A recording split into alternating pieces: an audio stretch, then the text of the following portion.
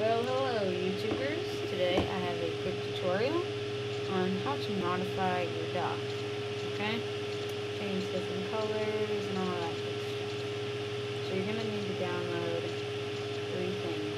No. Yes. No, two. Two things. First one is going to be called Dock Library. You can see that right there. It's a little stamp or something like that. Um, and you can get that this website, I believe, right here. Yes.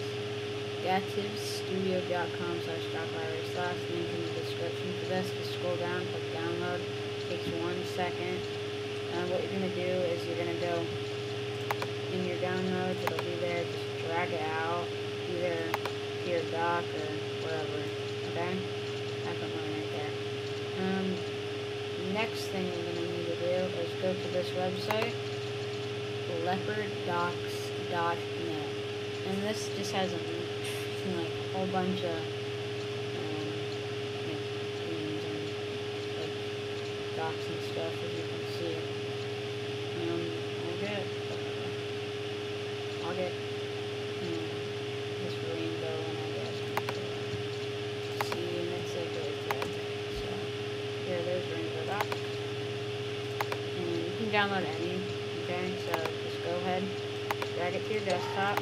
The, if the files don't automatically, if it's still in the zip, just click on it and it'll zip it right out. Then just drag the folder to the desktop. Okay, next you're going to want to open up Dock Library. Just allow. Okay, I'll make this okay for you guys. So you have the default dock, obviously. And I've already imported some, as you can see. 3D border, black, color burst, Okay, to import the other the other one, you're gonna want to have it on your desktop, as I said, and you're gonna go and click up here, import. You guys can see this right here, import. So you're gonna go ahead and click import, and it's gonna bring up all the stuff on your desktop. It'll be in documents first, but you're gonna navigate to desktop, so that's where you have it. Click on it, and just click open. And there it is. It's right here. So I'm actually going to choose one. I don't want to do rainbow, I just did that to show you guys. Um, I kind of like color burst right now. But I kind of like black. kind of go color burst. So you're going to choose the one that you want. You can always change back to the original, okay? I'll show you. So I'm going to choose color burst. Just click on it, see how it did the yellow bar or whatever. Click activate. This should go dark down here. Oh, okay. To make changes, you have to like putting the password and stuff.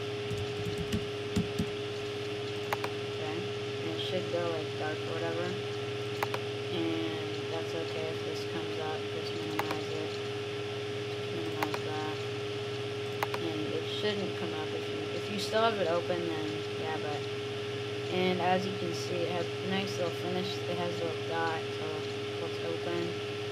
And I'm gonna change that in a little bit but you can just keep like, and then you can delete them, just select and then delete, but you can't delete the default, so I'll just show you guys back to default, just click activate again on that one, and it's, it's back to normal.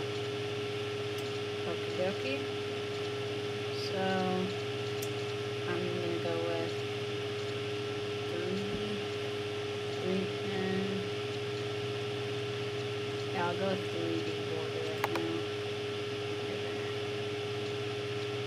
Okay, yeah. Activate. Change it up real quick. And there we have it, you guys. Here's all the things open. And that is how to change your dock. You can always change it back, you guys. Then once you're done importing it into Dock Library, you can just throw it out. Doesn't matter. See, it already unzipped it for me, if it doesn't, just. You can throw the zip file out. So remember, links in the description and I might have a tutorial on how to get different icons, but I'm not sure how to do that yet. I'm going to find out, so subscribe for that, and just go check out my other videos, you guys. Uh, thanks for watching.